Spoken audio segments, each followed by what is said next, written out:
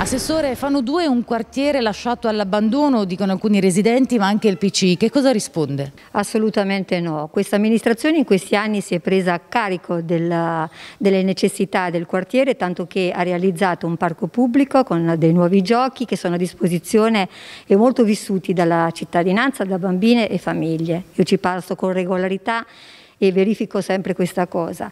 Abbiamo realizzato anche uno sgambatoio che naturalmente ha delle dimensioni molto più piccole rispetto agli altri, ma questo i, i, i concittadini che ce l'avevano chiesto del quartiere ne erano a conoscenza, ma pur di salvaguardare quello che era uno stato di igiene delle altre parti verdi erano stati, voglio dire, consenzienti, per cui noi siamo andati avanti e non è vero che ci sono pochi cani all'interno, perché, ripeto, frequentando quel quartiere sono la prima a vederlo.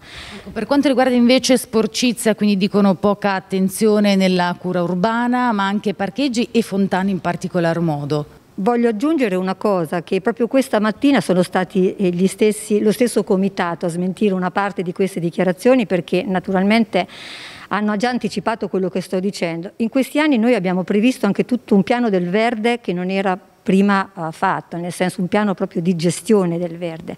Per quanto riguarda la sporcizia molte volte dipende anche dal, dal buon uso e, e, il buon consumo che ne facciamo noi cittadini e questo purtroppo lo verifichiamo ahimè in tanti altri quartieri, non solo fanno due. Per quanto riguarda la fontana invece qui è vero, è vero perché eh, mi hanno già sensibilizzata proprio nella riqualificazione di quello spazio chiedendomi di non ripristinare la fontana ma di fare un'area vegetativa e sarà quello che faremo. Tanto che proprio per adempiere alle loro richieste, dopo le ferie li vorremmo incontrare.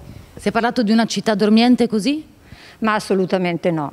Viva Dio, siamo una città talmente viva che in questi anni abbiamo riqualificato 32 parchi, di cui 17 completamente nuovi, proprio perché abbiamo sempre più bisogno di rigenerarci in spazi dove appunto si fa del gioco.